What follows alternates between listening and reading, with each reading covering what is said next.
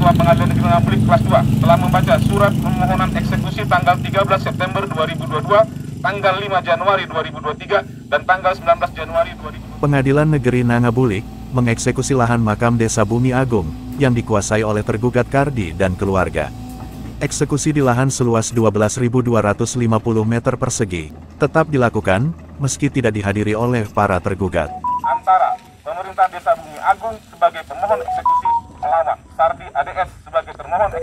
atas sebidang tanah seluas 12.250 meter persegi. Belasan personel kepolisian dari Polres Lamandau mengawal jalannya eksekusi pada Kamis tanggal 9 Februari tahun 2023. Tiga alat berat dan dua buah dam truk diterjunkan.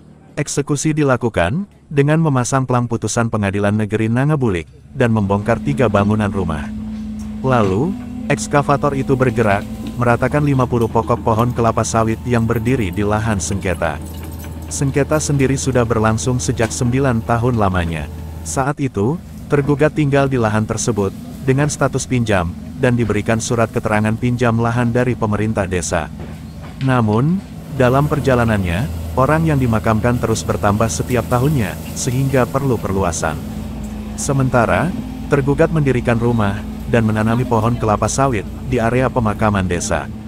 Saat itu, pemerintah desa setempat, telah berupaya untuk menyelesaikan masalah tersebut secara musyawarah, namun tidak membuahkan hasil. Dari Lamandau, Kalteng Pos melaporkan.